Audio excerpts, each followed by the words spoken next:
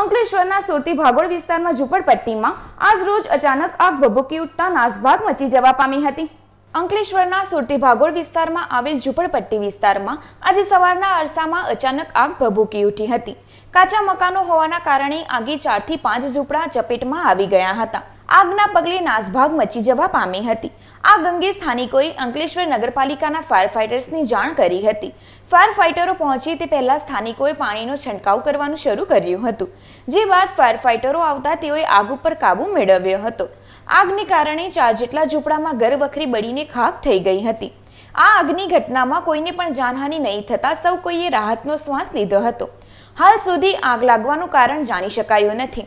કે ભાઈ, આ જે ઝૂંપડા બળી ગયા છે ગરીબોના, જે રોજ લાવીને રોજ ખાનારાઓના, તેને તાત્કાલિક આ મકાન બને, તેની માટેની તજવીજ હું હમણાં હાલમાં જતાની સાથે હું કરવાનું છું. અને આ હાલ- હાલની અંદરમાં કંટ્રોલમાં છે અને વિધવા અને ગરીબ લોકો છે કે જેમના ઝૂંપડાઓ બળી ગયા છે હાલની અંદરમાં. આપ જોઈ શકો છો.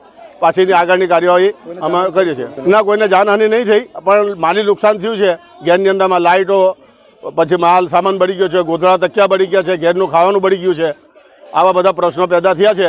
પણ એમને સહાયતા તાત્કાલિક મળે અને એમને આ ઠંડી, કડકડતી ઠંડીની અંદરમાં એમનું રક્ષણ મળી રહે તે માટે ઘેર બાંધવું બહુ જરૂરી છે.